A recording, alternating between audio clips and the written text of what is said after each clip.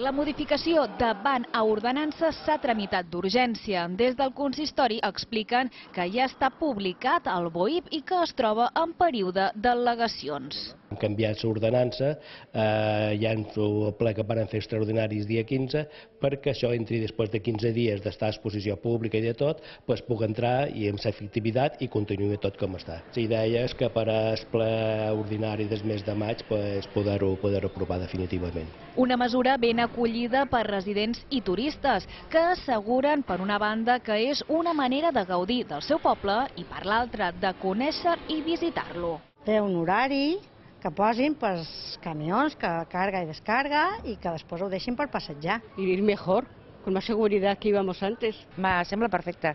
Vull dir, la gent pot eh, caminar lliurement i pot eh, anar per allà on vulgui i no, i no hi ha problema de, de la, de, dels cotxes. que gairebé tots els pobles de- d'Espanya ho estan fent. La zona del centre, peatonal. Els propietaris dels negocis i treballadors de la zona accepten la mesura, però demanen que es replantegi el seu horari. Hay que dejar también que entren coches en ciertas horas, porque hay muchos, muchos locales aquí que necesitan que entren camiones, repartidores y así es más fácil. Te dejas la espalda porque vienes de ahí abajo, son cuestas para arriba y barriles y peso y tal, ¿sabes? No es lo mismo que tú te paras, por ejemplo, aquí y haces ese cliente y haces ese cliente y haces tal. Antes teníamos un horario amplio y ahora lo tenemos hasta las 10 de la mañana y hasta las de las 10 de la mañana no nos da tiempo. Tot i aquestes peticions, no es preveu modificar el contingut de la regulació viària de la zona respecte de la proposta inicial.